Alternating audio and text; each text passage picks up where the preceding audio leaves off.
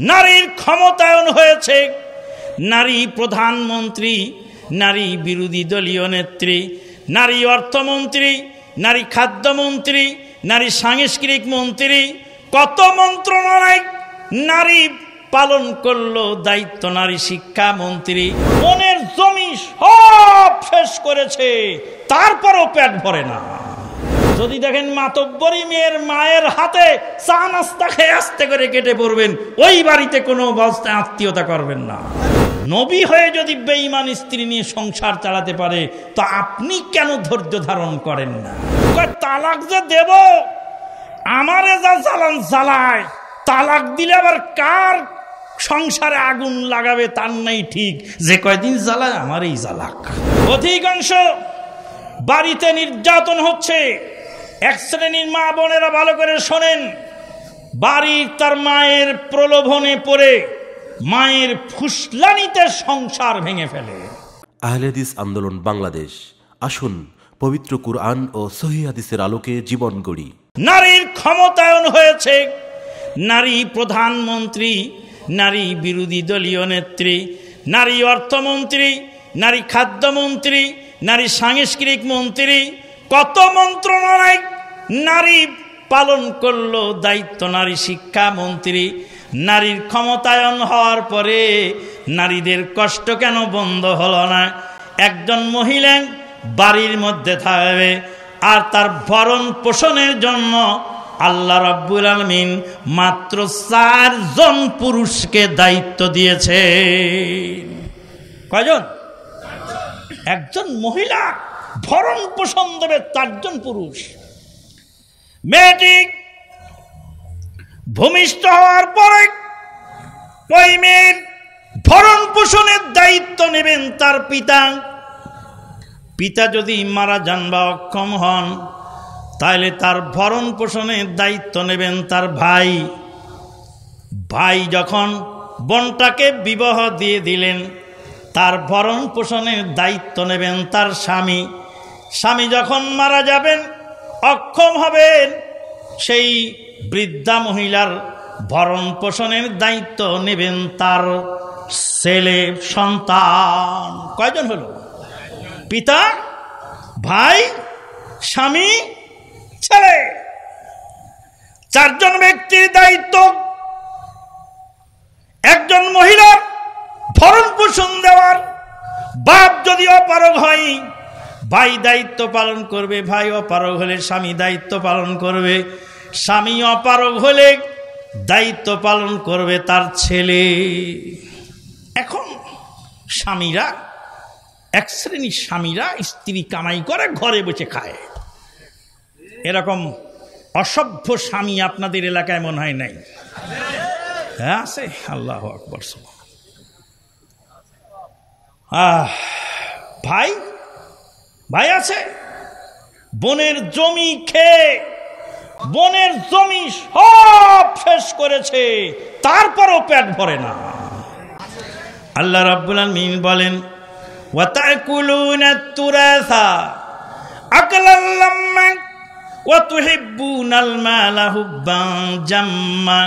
কাল্লা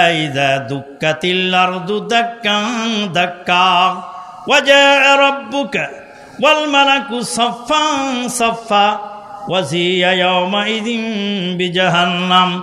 আল্লাহ রাব্বুল আলামিন বলেন ওয়াতাকুলুনা তুরাসা কাল্লাম্মা ওয়াতুহিব্বুনাল মালা হুব্বান জাম্মা।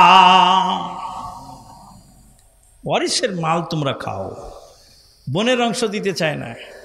আমি এক ভাইয়ের খবর শুনলাম, ভাই বলল যে আমার বোনদেরকে আমরা সব দিয়ে দিয়েছি, এক ইঞ্চি জায়গাও কম দেয়নি আলহামদুলিল্লাহ বললাম যে ইমানদার একটা পাইলাম আলহামদুলিল্লাহ। ছেলেরা ভাইয়েরা নিয়েছে চার বিঘা, কয় বিঘা? আর বোনদেরকে দিয়েছে দুই বিঘা। ঠিক দিছে তো না ভুল দিছে? দু বিঘা বলে না কি বলে আপনার এলাকায়?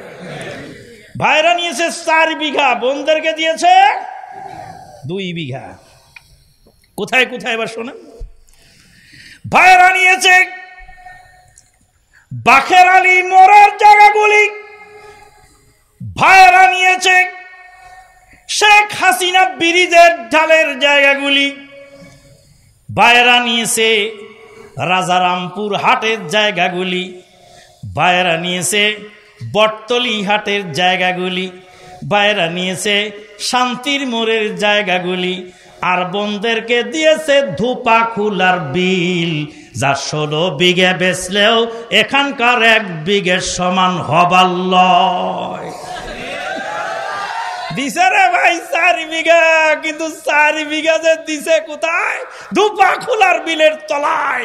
আর নিয়েছে মেন বাজার সড়কের আল্লাহ রাব্বুল বলেন তুরাসা আকলাল লাম্মাক ওয়া তুহিব্বুনাল মালা হুব্বান জাম্মা তোমরা বনকে পছন্দ করো না, সম্পদকে পছন্দ করো। সম্পদ বন দাবি করেছে সেই জন্য বোনের সঙ্গে তোমার সম্পর্ক কাটা। অনেক ভাই আছে, বলে বাপের বাড়ির সম্পদ যদি দাবি করিস, তাহলে এই বাড়িতে আসার পথ বন্ধ। তুমি কি মুসলমান? কেমন মুসলমান তুমি আত্মীয়তার সম্পর্ক ছিন্ন করো? বলছিলাম, ভাই তো বোনের জিম্মাদার। এবার বোনের অংশ তোই ভাই দেয় না, তো বোনকে আবার কি করে খাওয়াবে? স্বামী? স্বামী তো যৌতুকের জন্য পাগল পারা যৌতুক ছাড়া চলে না, যৌতুক লাগবে। স্ত্রীর উপরে অন্যায় অত্যাচার, অমানসিক নির্যাতন তারা করে যাচ্ছে। আর এক শ্রেণির মহিলাও আছে যারা স্বামীকে মানতে নারাজ। অধিকাংশ বাড়িতে নির্যাতন হচ্ছে। এক শ্রেণির মা বোনেরা ভালো করে শোনেন, বাড়ির তার মায়ের প্রলোভনে পড়ে, মায়ের ফুসলানিতে সংসার ভেঙে ফেলে। মায়ের কারণে সংসার ভাঙে। ওই জন্য আমি ভাইদেরকে অনুরোধ করি, ছেলে বিয়ে করাতে গেলে আগে যায় দেখবেন যে ছেলের মেয়ের মা বেশি কথা বলছে না মেয়ের বাপ কথা বলছে। যদি দেখেন মাতব্বরী মেয়ের মায়ের হাতে চা নাস্তা খেয়ে আস্তে করে কেটে পড়বেন, ওই বাড়িতে কোনো অবস্থায় আত্মীয়তা করবেন না। কারণ আপনার বাড়ি ঝালাপালা করে সারবে। ওই ছেলের শাশুড়ি জীবনটা তেলা তিতে করে ঝিঙের বিচি বানাবে, তেজপাতা বানায় সারবে। মা বোনেরা সংসার ভেঙে লাভ নেই। স্বামীর সাথে পাল্লা দিয়ে লাভ নেই। সংসার ভাঙার জন্য আমার কাছে আসে। একজন মহিলা এসে বলছেন, আমার স্বামী খুব মায়ের ধর করে, নির্যাতন করে। বড় জালেম আমার স্বামী। আমি বলি, মা, তোমার স্বামী কি ফেরাউনের চেয়েও খারাপ? কয়, না। তোমার স্বামী যদি ফেরাউনের চেয়ে খারাপ না হয়ে থাকে, বিবি আসিয়া ফেরাউনের সংসার করে দুনিয়াতে জান্নাত সার্টিফিকেট পেয়েছিলেন। ইজ কয়লত রব্বি বিনিলি আদাকা বাইতান ফিল জান্নাহ ওয়ানাজ্জিনি মিন ফিরাউন আমালিহি ওয়ানাজ্জিনি মিনাল কওমিজ জালিমিন ফেরাউন কমেইনাতে একটু জাগরণী গাইলে কি বিরক্ত হন নাকি ফেরাউন কমেইনাতে আসি আরও পায়ে হাতে, ফেরাউন কমিনাতে আসি আরও হাতে পায়ে ঠুকিল লোহার মেঘ কত। সাবাসো সাবাসো, আসিয়া বিবি, না সারিল দিনদারি দিনদারি চাহে এই মত। বিবি আসিয়া মরণকালে আল্লাহকে বলেছিলেন, প্রভু, আমার জন্য তোমার কাছে একটি জান্নাতের ঘর বানায় দাও। প্রভু, তোমার কাছে জান্নাতের ঘর চাই আমি। আর ফেরাউন এবং তার এই জুলুম অত্যাচার থেকে আমাকে চিরতরে তুমি মুক্ত করে দাও। মা তুমি একটু ধৈর্য ধারণ করো। তুমি বিবি আসিয়ার কথা স্মরণ করো। বিবি আসিয়া জালেম বেইমান ফেরাউনের সংসার করল। তুমি তোমার স্বামী মুসলিম, তার সাথে সংসার করতে পারো না। মেয়েরা আসে, ছেলেরা এসে বলে, স্ত্রী বড় বেইমান স্ত্রী কথা শোনে না। বলে, কথা তো শোনে না।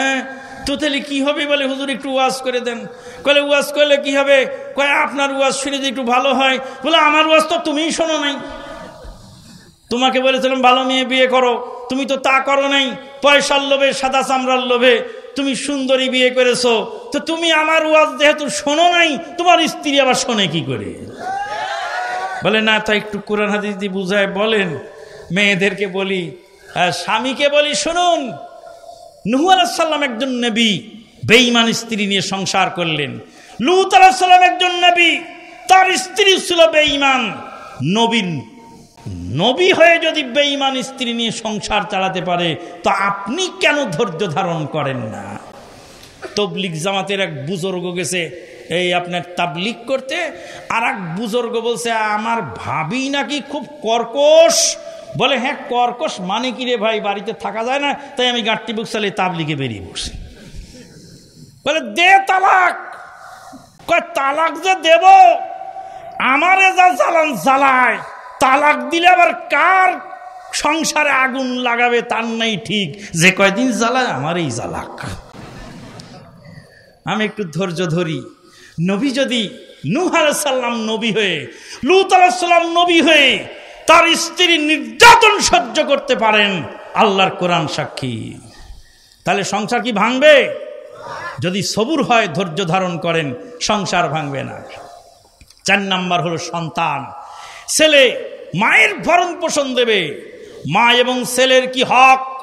এটা বলতে গেলে রাত ভোর হয়ে যাবে। পৃথিবীর কোরআন এবং হাদিস পড়ে পড়ে পড়ে পড়ে আশ্চর্য হয়েছি। আল্লাহ নবী সাল্লাহ সাল্লাম বলছেন, তোমার পিতা, তোমার মাতা, তোমার জান্নাত, তারাই তোমার জাহান্নাত মা বাবা যদি সন্তুষ্ট হয় জান্নাত মা বাবা নাখোশ হলে জান্নাত পাওয়ার কোনো সুযোগ নেই। আল্লাহ নবী আরও বললেন, মায়ের পায়ের নিচে হলো তোমাদের জান্নাত। মায়ের পায়ের নিচে জান্নাত।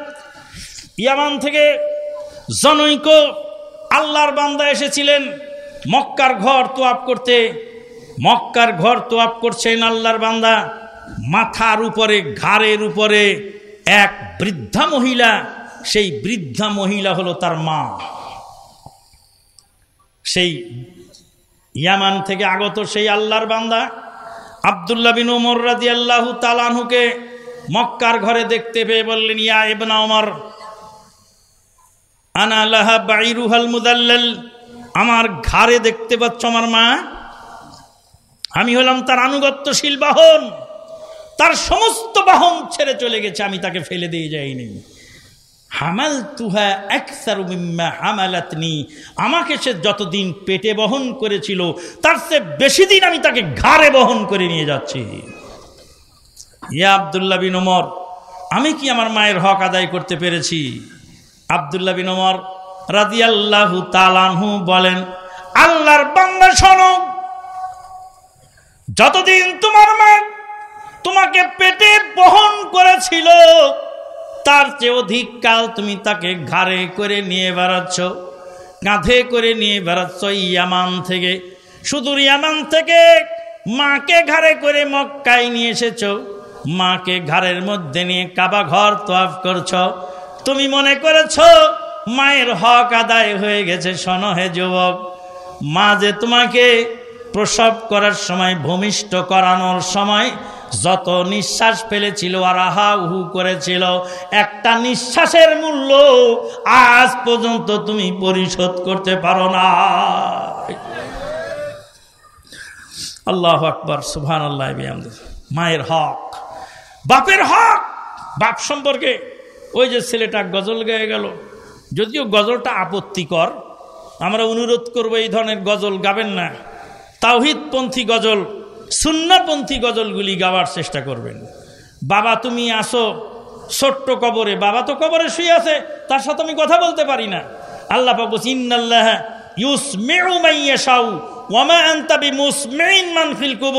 হে নবী, আপনি কবরের বাসিন্দাদেরকে শোমাতে পারো না। কাজে বাবা মারা গেছে, সেই বাবাকে অ্যাড্রেস করে এইভাবে আবেগ ঘন পরিবেশে বলা ঠিক হয় না, শব্দ চেঞ্জ করা জরুরি। বলছিলাম, বাবার হক, মায়ের হক আদায় করা সন্তানের পক্ষে কশ্চিন কালেও সম্ভব নয়।